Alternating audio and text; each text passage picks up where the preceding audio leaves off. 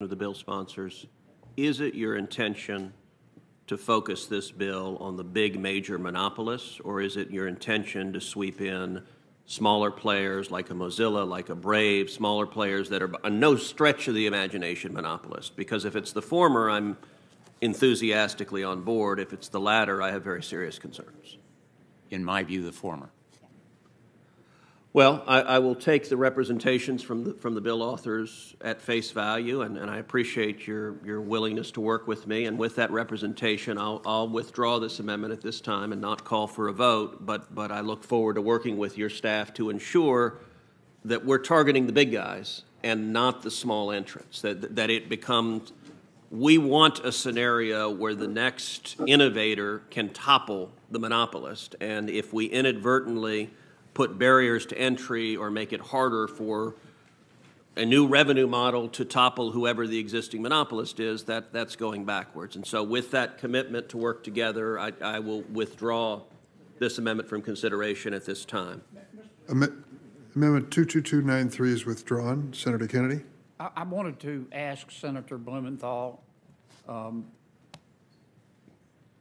I appreciate your comments, but tell me specifically why you think Ted's definition is too narrow, or Senator Cruz's definition is too narrow? If you look at the uh, amendment, Senator Kennedy, it has uh, a number of thresholds Right, for applying. right. I want to look at those thresholds more thoroughly and carefully to determine whether they serve the purpose that we share, which is to go after the gatekeepers. And, uh, for example, just speaking for myself, not for any other co-sponsors, uh, I would be loath to include a company like Valve at its number of users in this legislation. Uh, but I want to work with Senator Blackburn to know her views and other co-sponsors before we make decisions about what the threshold numbers should be. But uh, as I've said to Senator Cruz, our target here are the gatekeepers that are throttling innovation and preventing rivals and startups from coming to market, imposing a rent or fee, a VIG, as I've termed it, up to 30 percent, which increase cost to consumers. I think we share common goals here.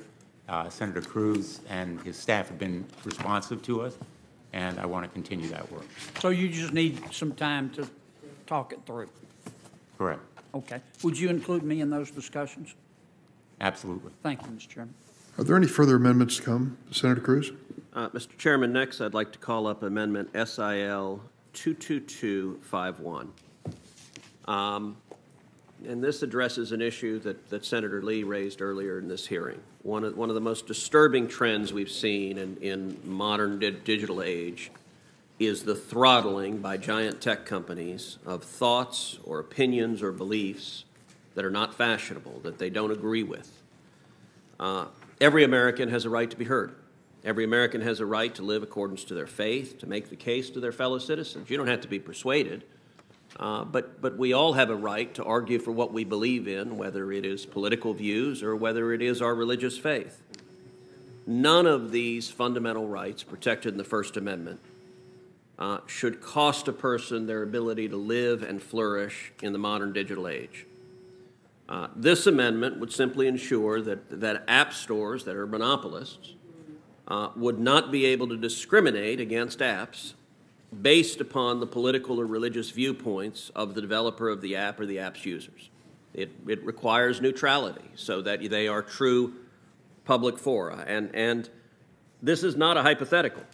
We've seen examples of some of the biggest app stores working together to take an app off their platform because they did not like the speech that was being said there. Specifically, uh, Parler. Parler was created as an alternative to some of the big social media companies uh, because people who were conservative, people who were libertarian, were getting censored on the big social media sites and they wanted another place to speak.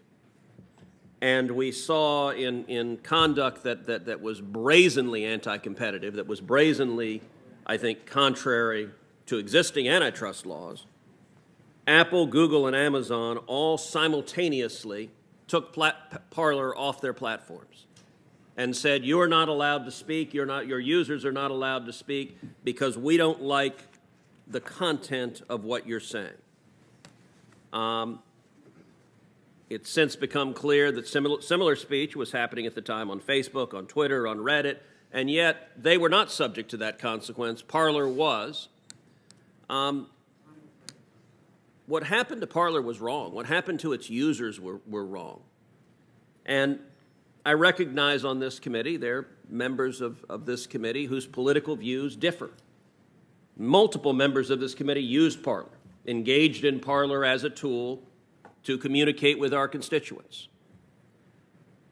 Even if you disagree with the politics of a particular speaker, whether it is on Facebook, on Twitter, or Parler, or somewhere else, members of this committee ought to be committed to the principle of free speech that our constituents have a right to speak and persuade each other, and that we should not be enabling modern day oligarchs to discriminate against the free speech rights of Americans or to discriminate against religious faith. And so this amendment provides simply a neutral standard that you cannot discriminate against an app if you're a monopolist uh, based on either political views uh, or religious faith. And I would urge adoption of the amendment.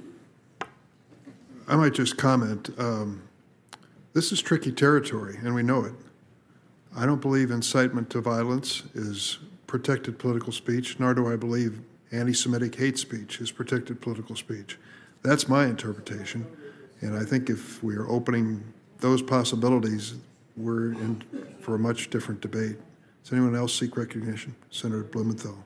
Uh, Since we're approaching the 11 o'clock hour, if we haven't passed it already, I, I will respond very briefly. Uh, This bill is not about political speech. It's not about uh, discrimination. It's really about protecting consumers. I am concerned about the way this amendment is written, uh, applying to non-discrimination against, quote, political or religious speech or viewpoints, which provides uh, a vast, broad reason that the potential anti-competitive practice could be justified by Apple or Google tying up action in the courts for years and years. And so I'm going to urge defeat of this amendment. Mr. other- Chairman, a, a quick clarification. Um, Senator Blumenthal just suggested that this amendment would somehow provide a safe harbor for anti-competitive conduct. To the contrary, this amendment puts an additional restriction on the monopolist. So it's not a defense for the monopolist. It is an additional restriction that you cannot be discriminating against apps or users based on their political views or religious faith. So it, it is exactly the opposite of a safe harbor. It is an additional restriction. Questions on the adoption of Amendment 22251? Uh, the Clerk will call the roll. Mr. Leahy? No. Mrs. Feinstein? Mr. Whitehouse? No. Ms. Klobuchar? Mr. Coons? No by proxy. Mr. Blumenthal? No. Mr. Hirono? Mr. Booker? No. Mr. Padilla? No. Mr. Ossoff? No. Mr. Grassley? Aye. Mr. Graham? Aye by proxy. Mr. Cornyn? Aye. Mr. Lee? Aye by proxy. Mr. Cruz? Aye. Mr. Sasse? Aye by proxy. Mr. Hawley? Aye by proxy. Mr. Cotton? Aye by proxy. Mr. Kennedy? Aye. Mr. Tillis? Aye by proxy. Mrs. Blackburn? No. Mr. Chair Durbin? No. Chair Durbin, the votes are ten yeas, twelve nays. The amendment is not agreed to. Any further amendments? Mr. Chairman.